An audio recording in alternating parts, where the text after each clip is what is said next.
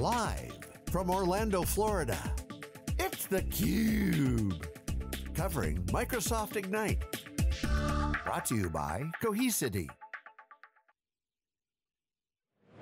Good morning, everyone. You are watching theCUBE's live coverage of Microsoft Ignite 2019 here in Orlando, Florida. I'm your host, Rebecca Knight, co-hosting alongside of Stu Miniman.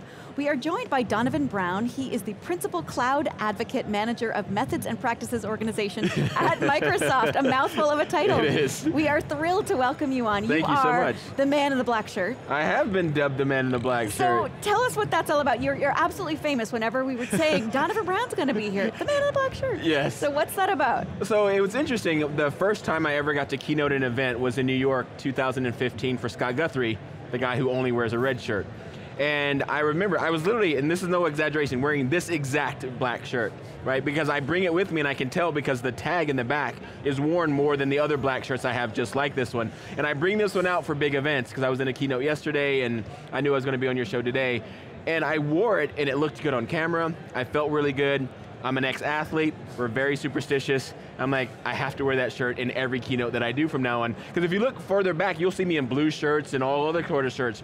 But from that day forward, it's going to be hard pressed for you to find me on camera, on stage, without this black shirt on, or a black shirt of some type. And there's a really cool story about the black shirt that was, this is when I knew it was a thing. So, I pack about six or seven black shirts in every luggage. I'm flying overseas to uh, Germany to go do a keynote for, I think it was Azure Saturday. Flights were really messed up. They had to check my bag, which makes me very uncomfortable because they lose stuff. I'm not worried about it, it'll be okay. Check my bag, get to Europe. They have been advertising that the black shirt is coming for months and they lose my luggage. and I am now hearts pounding out of my chest. We go to the uh, airport, I'm shopping in the airport because I don't even have luggage. I cannot find a black shirt and I am just thinking, this is devastating. How am I going to go to a conference who's been promoting the black shirts coming, not wearing a black shirt?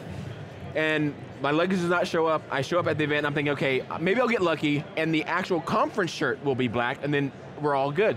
I walk in, and all I see are white shirts. I'm like, this could not be worse. And then I'll, the speakers show up, they're wearing blue shirts. I'm like, this cannot be happening.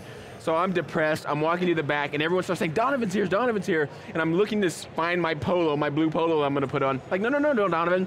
They printed one black shirt just for me. I was like, oh my goodness, this is so awesome. So I put the black shirt on, then I put a jacket on over it, and I go out and I tell the story of how hard it was to get here, that they lost my luggage, I'm not myself without a black shirt, but this team had my back, and when I unzip my shirt, the whole place just starts clapping because oh, I'm wearing a black I love shirt. It. Exactly, so now, to be seen without a black shirt is, is weird. Jessica Dean works for me, we were in Singapore together, and it was an off day, so I just wore a normal shirt. She had to take a double take on, is that Donovan, my manager, because he's not wearing a black shirt. I'm like, I don't wear them all the time, but if I'm on camera on stage, you're going to see me in a black shirt. All right, I like it. Well, Donovan, great story. Um, your team, Methods and Practices, uh, makes up a broad spectrum yes. uh, of activities and was, was relatively recently rebranded. So yeah. uh, we, we've talked to some of your team members on theCUBE before, so tell our audience a little bit about you know, the bridges Microsoft's building uh, Perfect, no, so that's been great.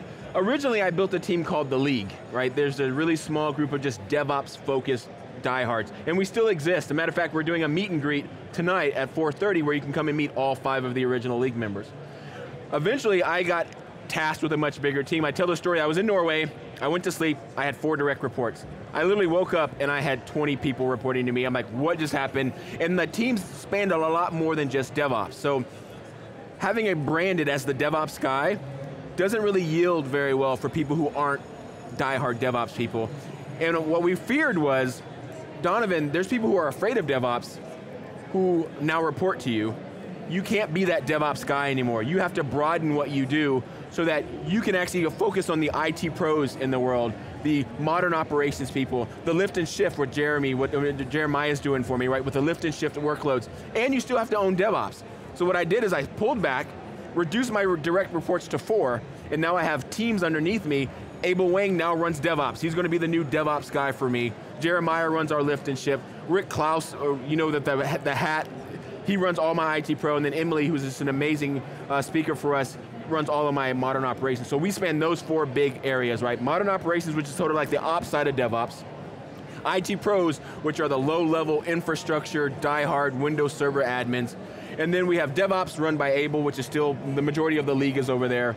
And then we have, obviously, the uh, IT pros, modern ops, DevOps, and then the lift and shift with Jeremiah. Well, and I'd like to speak a little bit as to you know why you've got the, the, these different groups. You know, how do you uh, share information across the teams, uh, but uh, you know really meet customers where they are and help them along? Because right, you know, my background's infrastructure. You sure. know, I'm, and you know that DevOps was you know like that religion pounding yes. at you. That absolutely. I mean, I, have got a closet full of hoodies, but I'm not a developer. Understood. You know, so. Understood. It's interesting because when you look at where our customers are today, Get into the cloud is not something you do overnight. It, it takes lots of steps. You might start with a lift and shift, right? You might start with just adding some Azure in a hybrid scenario to your on-prem scenario. So my IT pros are looking after that group of people that they're still on-prem majority, they're trying to dip their toe into the cloud, they want to start using things like file shares or backups or something that they can have disaster recovery off-site while they're still running the majority of what they're doing on-prem. So there's always an Azure pool to all four of the teams that I actually run,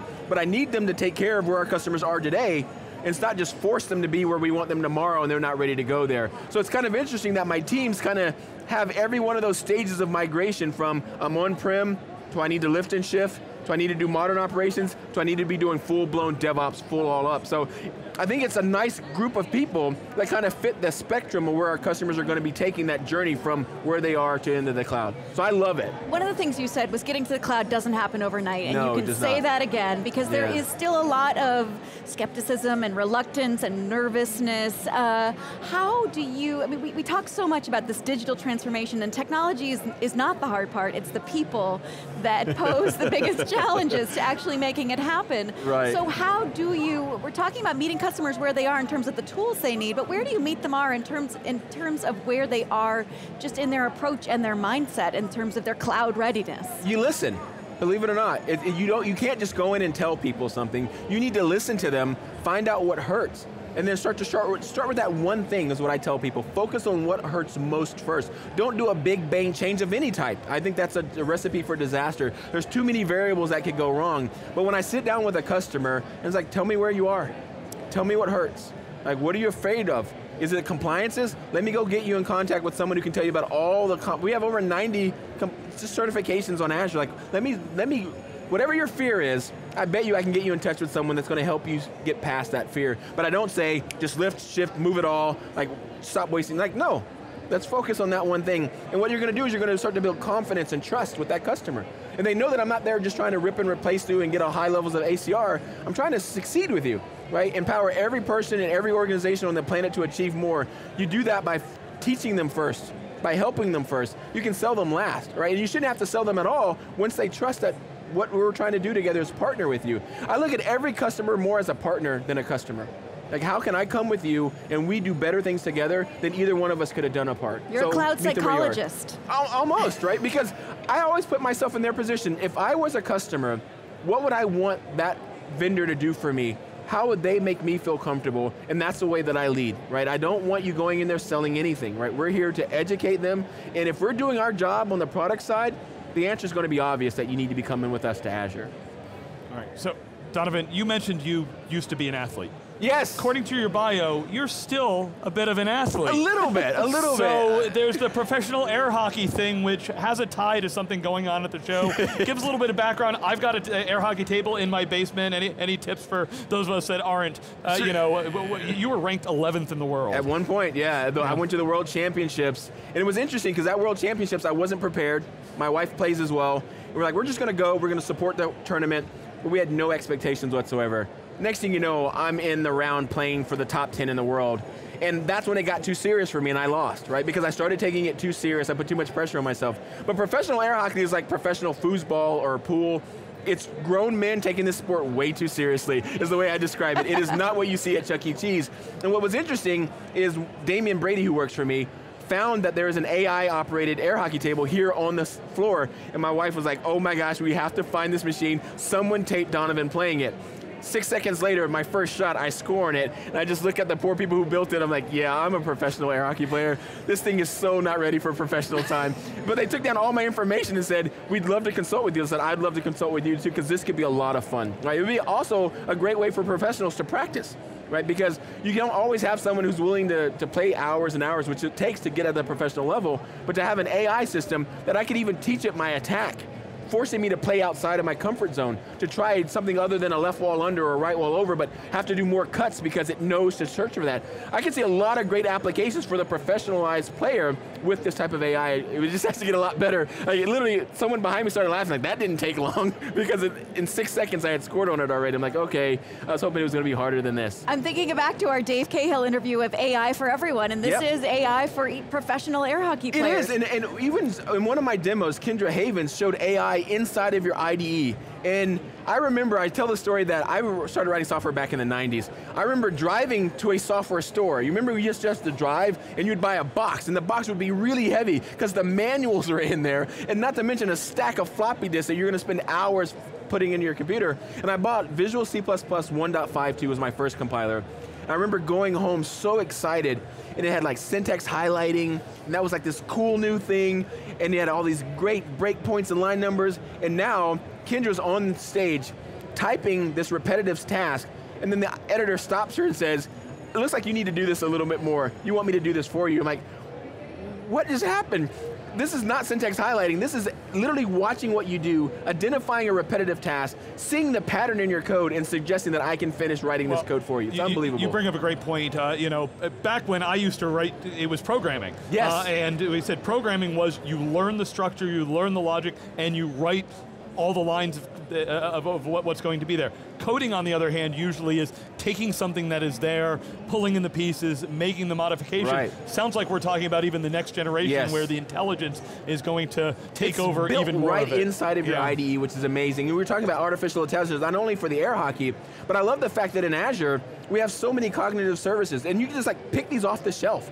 When I wanted to learn artificial intelligence when I was in the university, you had to learn a language called Lisp that scared half of us away from artificial intelligence because you had to learn another language just to go do this cool thing that back then was very difficult to do and you could barely get it to play chess, let alone play air hockey. But today, cognitive services, search, decision making, chatbots, they're so easy. Anyone, even a non-developer, can start adding the power of AI into their products thanks to the stuff that we're doing in Azure. And it's just lighting up all these new possibilities for us. Air hockey, drones that are able to put out fires. I've just seen amazing stuff where they're able to use AI and, and add it with as little as two lines of code, and all of a sudden your app is so much more powerful than it was before. Yeah, Donovan, one of the things that, that really has struck me over the last couple of years looking at Microsoft is it used to be, you'd think about you know, the Microsoft stack. When I think about developers, it's like, oh wait, are you a .NET person? Well, there you're going to be there. The keynote this morning, uh, one of your team members was on stage with Scott Hanselman, and it was, you know, choose your language, choose your tools, and you're going to have all of them out there. So talk to us a little bit about that transition sure. inside Microsoft. Sure, one of the mantras that I've been saying for a while is any language, any platform. No one believes me.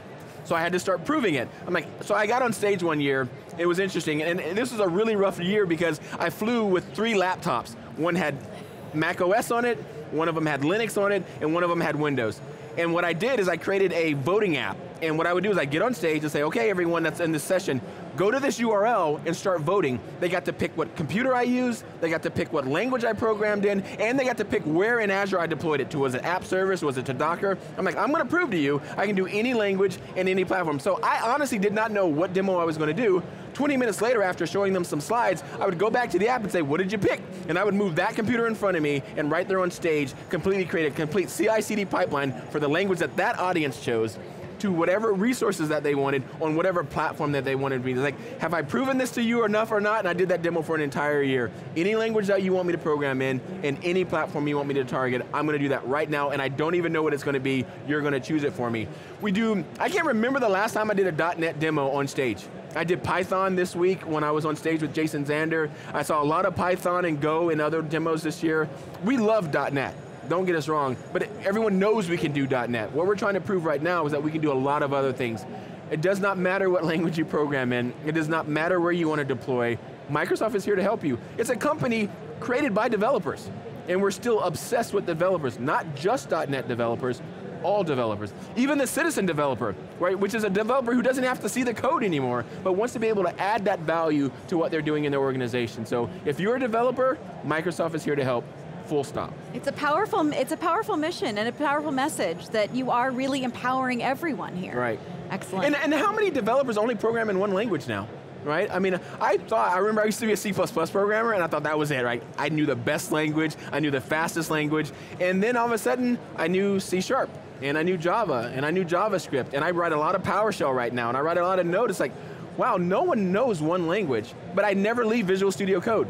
I deploy all my workloads into Azure. I didn't have to change my infrastructure or my tools to switch languages. I just switched languages that fit whatever the problem was that I was trying to solve. So I live the mantra that we tell our customers. I don't just do .NET development, although I love .NET and it's my go-to language if, I, if I'm starting from scratch. But sometimes I'm going to go help in an open source project that's written in some other language, and I want to be able to help them. With Visual Studio Online, we made that extremely easy.